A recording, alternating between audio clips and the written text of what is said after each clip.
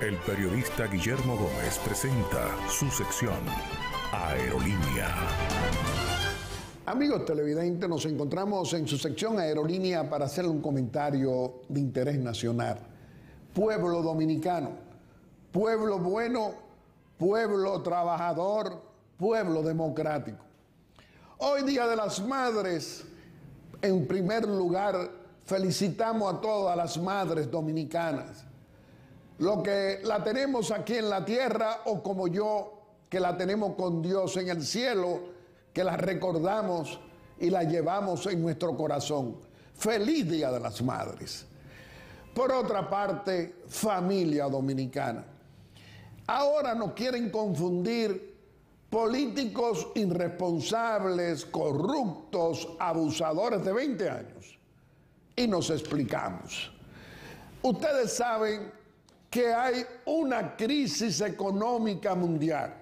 Esa crisis económica mundial comenzó antes de llegar al poder el presidente Luis Abinader, que cuando llegó al poder político heredó la pandemia y buscó alternativa de solución a los graves problemas que nos estaba produciendo con muertes, con contagios, con hospitalizaciones y que murieron más de cuatro mil dominicanos.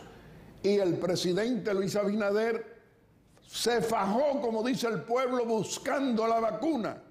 Y hoy tiene el reconocimiento mundial por ese trabajo responsable para nuestro querido pueblo dominicano. Pero en medio de esa pandemia recibió un país cerrado, una economía cerrada, pero no porque quisieron lo que estaban antes, sino por la grave crisis de la pandemia que produjo en el mundo una grave situación económica.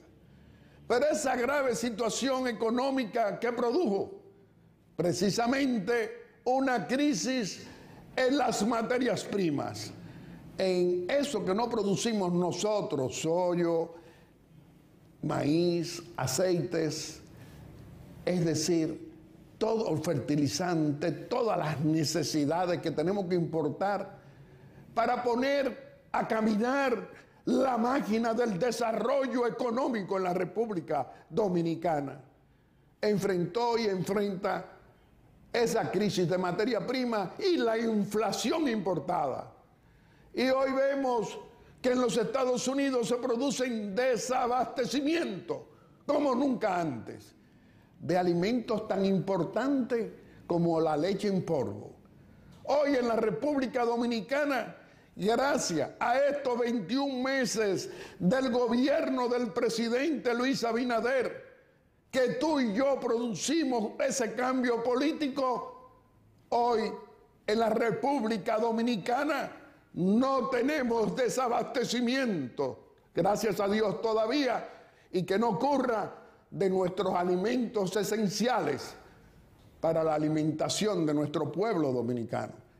Ahora nos dicen que el presidente Luis Abinader lo dice el corrupto, abusador y cobarde de Leonel Fernández Reina, presidente del PLD por 20 años. Ahora le llama Fuerza del Pueblo de que él es el culpable de los incrementos del petróleo, del carbón, del gas natural, de las materias primas, de la transportación de todo lo que necesitamos importar, es decir, la marítima y la aérea.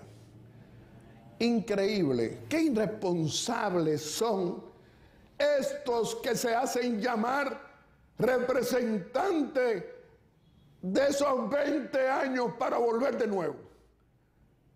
Y eso es posible, que nosotros podamos dejarnos confundir por políticos descalificados moralmente por su corrupción pública y privada de 20 años. Hoy, ¿qué te decimos a ti, familia dominicana? No importa, es verdad que han aumentado los precios de todo pero no tiene la culpa el presidente Luis Abinader.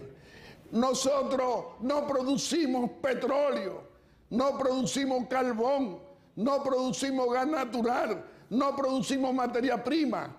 Lo que sí producimos en el Palacio Nacional hoy es aplicar políticas económicas correctas para apoyar a un pueblo dominicano para que no reciba el impacto económico de alzas escandalosas como están ocurriendo en el mundo y el mejor ejemplo en los Estados Unidos de América. Familia dominicana. Leonel Fernández Reina o Danilo Medina, los 20 años de esa corrupción pública y privada, sin sanción todavía y con impunidad, creen que nos van a engañar. Y yo hoy te voy a recordar un episodio grande de nuestra democracia dominicana de los últimos 61 años. A raíz del ajusticiamiento del dictador Rafael Leonidas Trujillo, ¿qué surgió? Ajusticiaron al dictador y surgió un Consejo de Estado que fue presidido por Joaquín Balaguer, que era el político que Trujillo dejó como vicepresidente de la República, subió como presidente de un Consejo de Estado de la oligarquía dominicana. Lo sacaron y fue mandado al exilio en el 61 y regresó en el 65. Pero ¿qué produjo ese Consejo de Estado? Que la oligarquía dominicana asumiera el poder político, que escogiera un candidato presidencial del nivel, de la categoría, de la honestidad de un Viriato Fiallo, que era un antitrujillista silencioso de, la, de los 31 años de la dictadura. Lo escogieron como candidato presidencial y se para que enfrentara a un político desconocido que duró nueve meses haciendo campaña política, un exiliado llamado Juan Bosch Nunca pensó esa oligarquía que iba a ganar las elecciones Juan Bosch. Le ganó las elecciones a don Viriato Fiallo. A los siete meses no le gustó a esa oligarquía que venía de ser los amigos de Trujillo, que luego abandonaron a Trujillo, al dictador, y se asociaron con los militares de la época para derrocar el gobierno de siete meses del patriota Juan Bosch. Es decir, se derrocó un gobierno que fue producto de la voluntad popular de una población de dominicanos, menos de dos millones, que votaron mayoritariamente por ese candidato desconocido el 20 de diciembre de 1962. Al venir los gobiernos de facto, es decir, después del derrocamiento del profesor Juan Bosch, ¿qué se produjo? Una corrupción masiva en nuestras Fuerzas Armadas con las cantinas militares. Le daban facilidades grandes a los militares para que pasaran todos los contrabandos que quisieran y así pasaron. Y ahí se produjo entre el liderazgo militar que le comenzaron a quitar las posibilidades de ser directores de la cantina a jóvenes oficiales que entonces cambiaron su lucha por el retorno a la constitución del 63, por el regreso de don Juan a la presidencia de la República. Y se produjo un levantamiento armado producto de esa corrupción. Y hoy estos que se hacen llamar líderes como el corrupto, abusador y cobarde de Leonel Fernández o Danilo Medina. Quieren que tú no tengas buena memoria, que no se reclame la sanción a esos que han acertado este país, a esos que se han robado el dinero de nuestros impuestos. Y no es que estamos andando con un saco de odios, ni de rencores, ni de nada parecido. Aquí no. Aquí yo no hago un ejercicio de eso.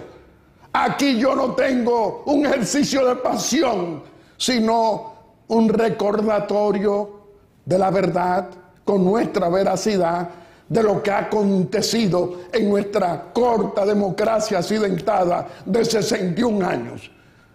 Familia dominicana, no te dejes confundir, no te dejes engañar. Ahora le quieren echar toda la culpa de la grave situación mundial a Luis Abinader, a nuestro presidente, a nuestro gobierno que defendemos aquí.